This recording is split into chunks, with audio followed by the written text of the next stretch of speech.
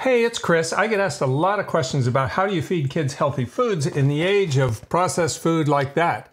Isn't it impossible? So I invited a guest host whom I adore, the charming Annie MacAskill-Bean, my daughter, and she actually does it with her family, and here's how she does it.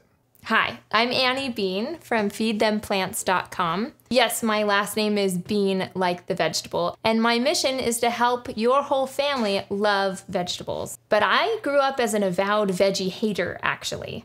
I got to college only liking two vegetables raw baby carrots and corn on the cob. That's it. Salad, gross. So you can imagine how disappointed I was when my husband was in medical school and we started to learn more about nutrition and about how important vegetables were in preventing disease.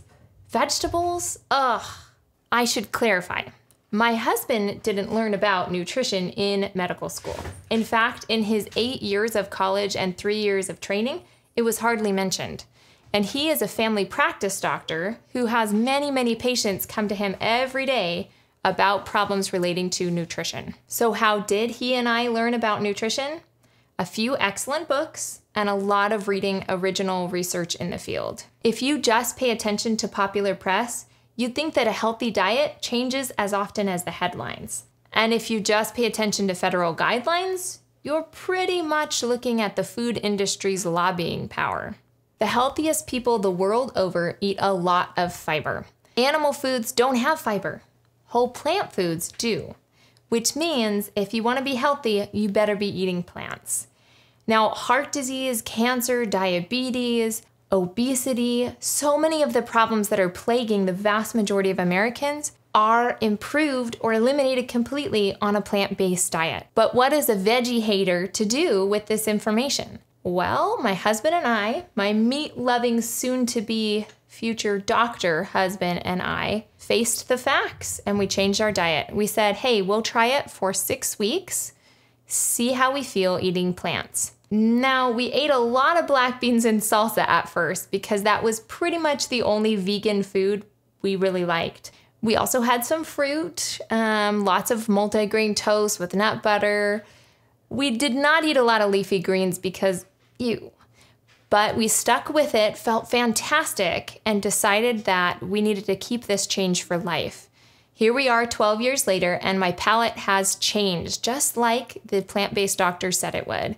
After the first month or two, I started to like a lot of different foods that I didn't think were possible for me mushrooms, zucchini, spinach, lots of leafy greens. I still ignore headlines about healthy diets in the popular press, and I still haven't seen any good science that suggests adding meat or dairy or processed food to a diet improves it. So we haven't. Here's the thing though since we changed our diet, we've had kids. Kids! Five of them! And let me tell you, that changes things. After all, kids want chicken nuggets. Kids want chicken nuggets. Kids need Kool-Aid. Kids won't eat anything unless it's processed or sweet. False. That's not true. My kids eat salad and love it. My kids eat vegetables for almost every meal. I love vegetables. But it's true. But it's true. Parents have been duped. Billions of dollars of marketing have gone into this idea that kids somehow need different food in order to be happy, well adjusted people. And we believe them because we're trying to be good parents. We want happy kids.